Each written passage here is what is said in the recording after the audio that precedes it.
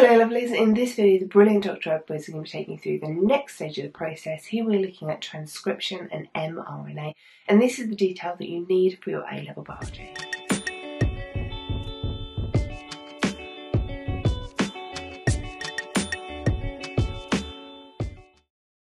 Transcription and mRNA. First of all, let's start by looking at why do we need mRNA. DNA is a really large molecule it's up to about two meters in length in a human nucleus. So if you took the DNA out of the nucleus of every cell, each bit of DNA would be about two meters long if you stretched out and uncoiled and untwisted it. It can't fit through the nuclear pores in the envelope around the nucleus. It's just too long, and if it's condensed, it's too large.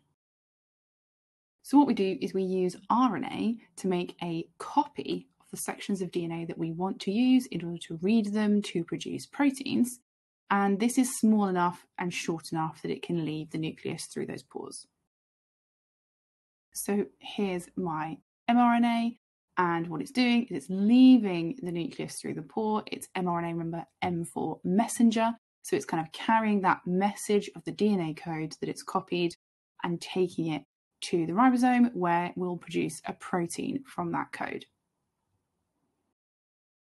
Let's remind ourselves of the structure of mRNA. So it's single stranded, it is short ish, so that will depend on the length of sequence we need for the protein that we're trying to make.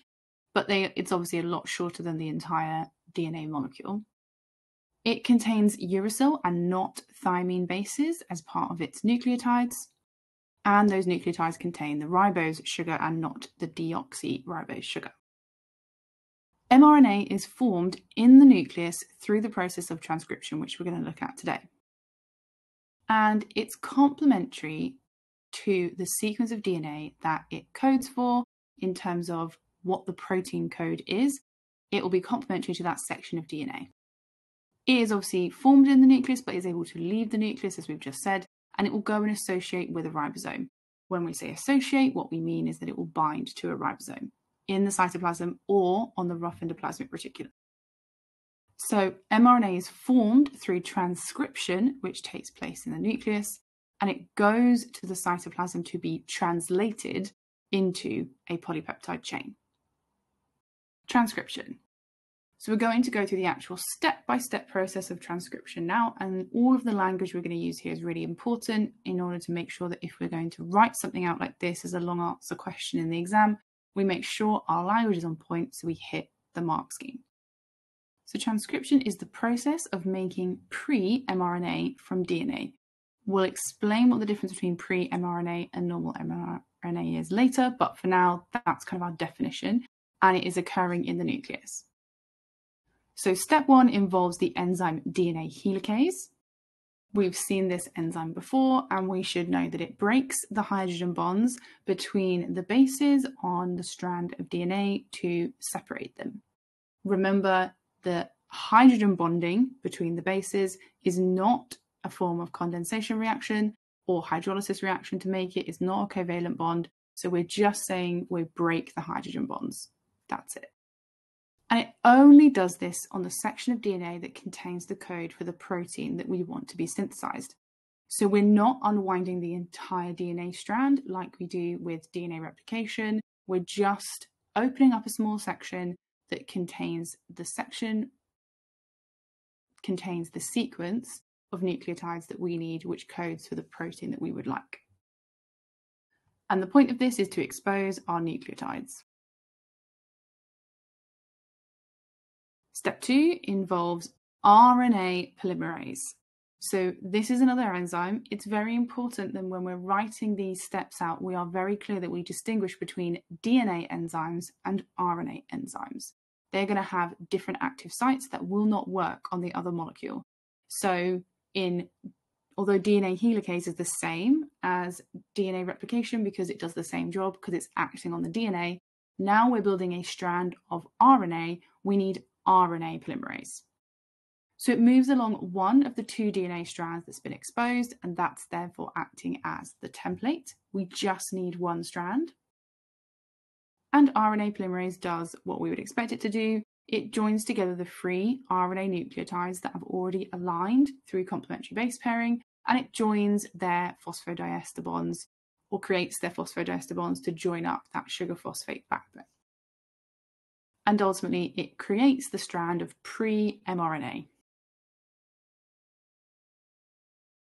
So, the final piece of this series of steps is to turn pre mRNA into actual mRNA.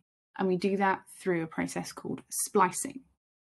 The reason it needs to be done is that pre mRNA contains introns. Introns are sections of DNA sequence that do not code for proteins. And some people refer to this as kind of junk DNA.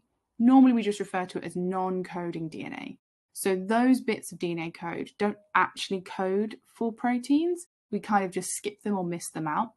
Whereas there are exons, which are sections of the DNA code that do code for proteins. And we obviously need to keep these in because then when we take it to our ribosome, it's going to read those exons and those bits of DNA base sequence are going to be what codes for our protein. So splicing removes the introns.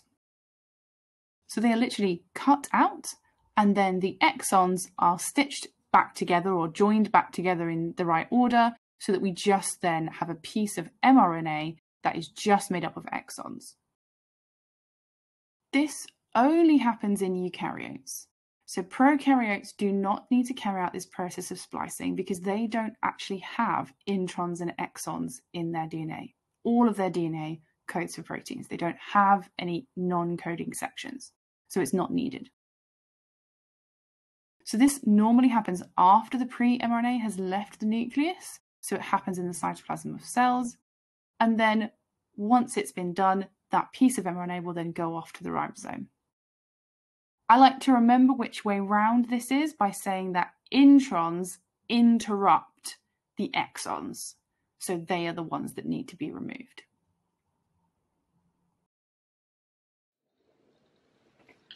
Ouch!